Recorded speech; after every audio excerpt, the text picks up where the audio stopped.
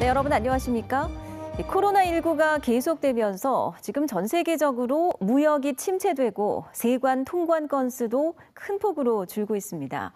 그런데 유독 이 담배 밀수만 폭증해서 세관이 단속을 강화하고 있습니다. 이도원 기자가 보도합니다. 부산시당 인근 창고입니다. 담배가 가득 쌓여 있습니다. 규모는 64만 갑, 시가로는 28억 원어치입니다. 동남아에 수출됐던 국산 담배로 일수입을 통해 국내에 유통되기 전 세관 단속에 적발된 겁니다. 올 들어 지난달까지 국내에 밀수된 담배는 310억 원 규모로 지난해 같은 기간 49억 원과 비교해 6배 가량 늘었는데 부산항에서도 담배 밀수가 폭증했습니다. 코로나19 사태 속에 올해 전국적인 통관 실적이 5에서 10%가량 줄었고 전체 밀수 규모도 감소세이지만 유독 담배 밀수는 기승을 부리고 있습니다.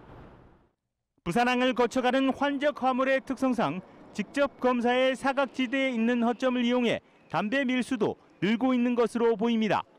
세관은 이를 보완하기 위해 선사 정보부터 운송 차량 정보까지 보다 방대한 자료를 분석한 빅데이터 추적을 강화하고 있습니다.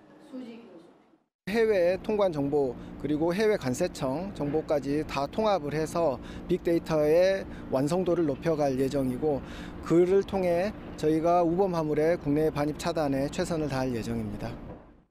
또 직접 검사의 비율을 늘리는 등 담배 밀수 차단을 위해 대대적인 단속을 지속적으로 실시할 계획입니다. MBC 뉴스 이두원입니다.